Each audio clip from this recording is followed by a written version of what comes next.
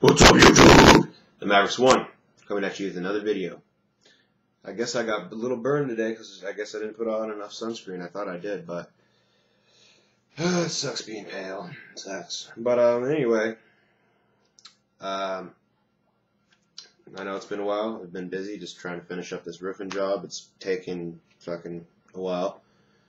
But yeah, it's been going pretty good. So um, decided to make a video. I'm going to chug. An Angry Orchard Elderflower Hard Cider. Limited edition fucking new thing. They're a little sweet. I don't like them as much. But to, set, to make the sweet a little better, got a Corona Light. Alright. Shoutouts. Rugby721. Thanks for all support, man. You're still my fucking first subscriber. Number one. Number one.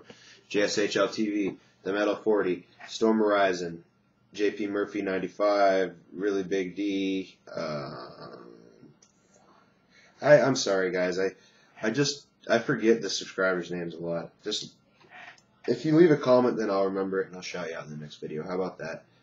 I want 20 comments at least. Come on, guys. Give me some love. Let me put my love into you. Anyways, I'm gonna chug these two beers. Mavericks won.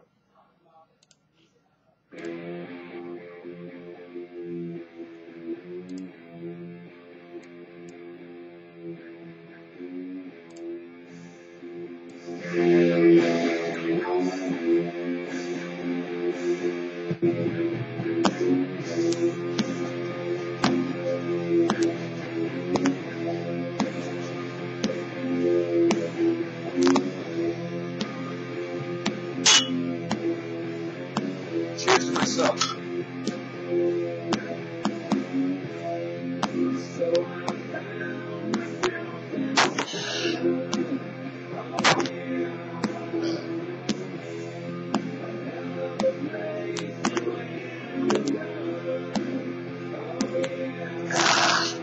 Oh, the combination.